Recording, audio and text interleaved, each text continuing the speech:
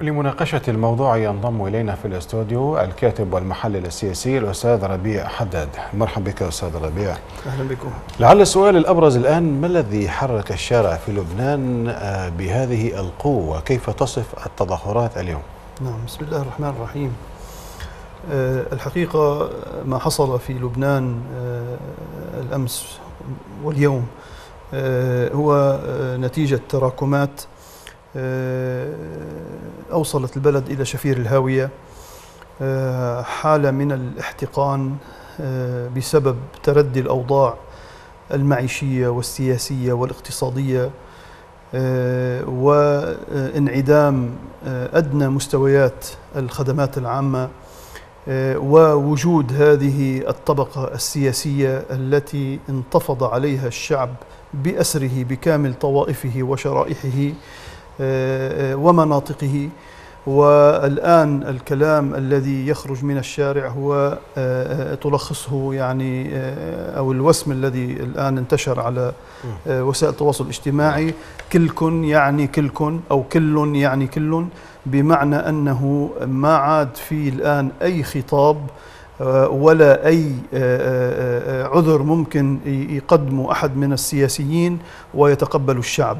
فلذلك ونحن اليوم كان في يعني بيان لوزير الخارجية جبران باسيل وكان في بيان لرئيس الحكومة سعد الحريري نبض الشارع رفض كل ما جاء في البيانين. نأتي إلى نقطة سعد الحريري أستاذ ربيع. سعد الحريري قال أو حمل شركاء العملية السياسية مسؤولية هذه الإخفاقات. ألقى باللوم عليهم. ما الجديد فيما طرح؟ والله يا أخي هذا يعني الموضوع الحقيقة من ال من ال يعني يعني شر البلية ما يضحك حقيقة.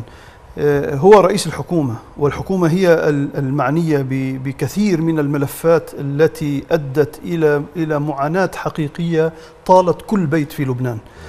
ثم عندما يعني انتفض الشعب ونزل بشكل تلقائي وعفوي إلى الشارع يأتي رئيس الحكومة ويقول يعني أنا أمهل شركائي في التسوية وشركائي في الوطن.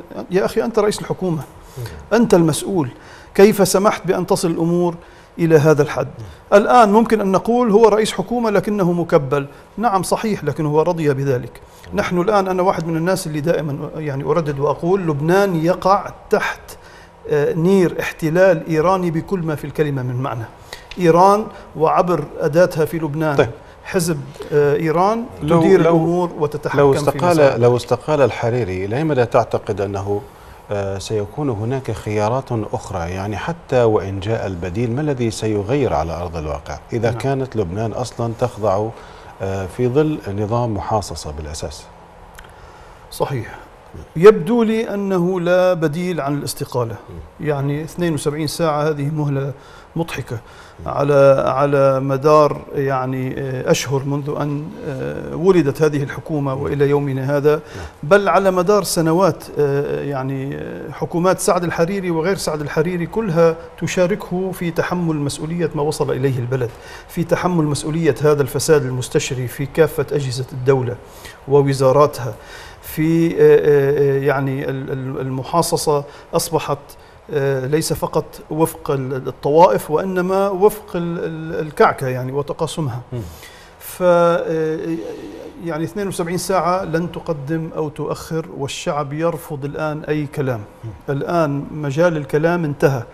هي الأفعال هو التغيير. الناس الآن لا تتحمل يعني كل الأحزاب اللي هي ممثلة في الحكومة وممثلة في المجلس النيابي الآن أفرادها في الشارع يتظاهرون ضدهم. فالمسألة أصبحت بلغت يعني مبلغ لم نرى مثله سابقا في لبنان.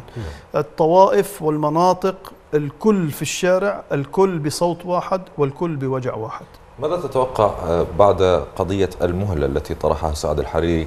قال بأنه سيكون له تصرف ثاني. ما هو التصرف الذي من المتوقع أن يتخذه سعد الحريري؟ يعني هو يلوح بالاستقالة. ما ما يعني يعني أنا شخصيا ما فهمتها إلا هكذا.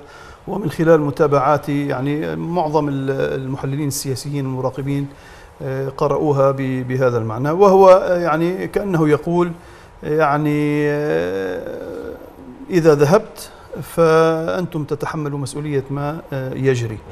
والحقيقة هو فعلا إن استقالت هذه الحكومة سيدخل ال- ال- البلد في في مرحلة ضبابية يعني ومجهولة المخرج. يعني. ربما أمام سيناريو فراغ دستوري تسعى إليه بعض القوى من وجهة نظرك؟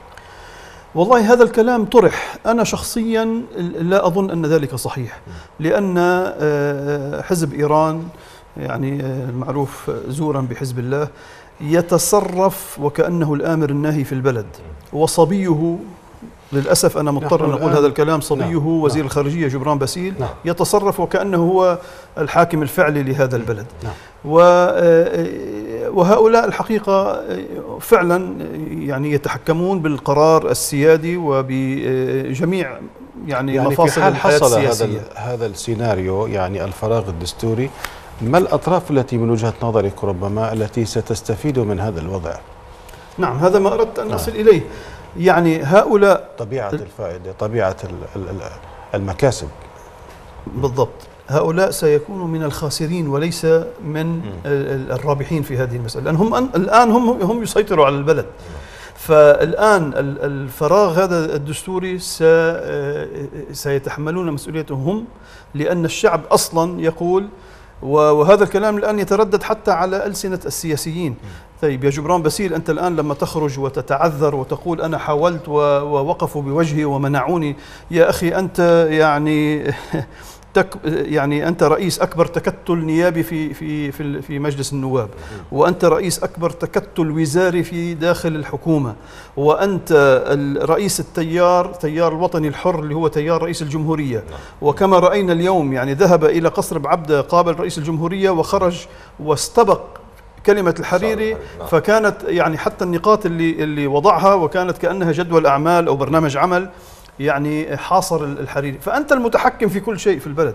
فكيف تقول أنك غير معني أو, أو غير المقصود نعم. بال- بالمظاهرات؟ أه، أستاذ ربيع حداد إلى أي مدى ترى أن الظروف الحالية هي مشابهة للظروف التي حصلت خلال تظاهرات عام 2015 لا شك هناك أوجه شبه لكن هذا الحراك لم يسبق له مثيل في لبنان. آه، عام 2015 كان الحراك آه، تحت عنوان طلعت ريحتكم وكان طبعا الدافع الرئيسي وملف ال- القمامة أو الزبالة نعم. وهو ملف عالق إلى هذه اللحظة يعني آه، وكان في طبعا آه، يعني شرائح متنوعة اللي نزلت في المظاهرات ثم تم خطف ال- ال- الحراك وأصبح ضحية التجاذبات السياسية في البلد أما ما نراه في الشارع اليوم نعم. فلا يستطيع أحد إلى هذه اللحظة فلا يستطيع أحد أن يقول أنه هو المتحكم أو أنه يمثل ال- الموجودين في الشارع أو أنه يتكلم باسمهم نعم. آه، جميع شرائح المجتمع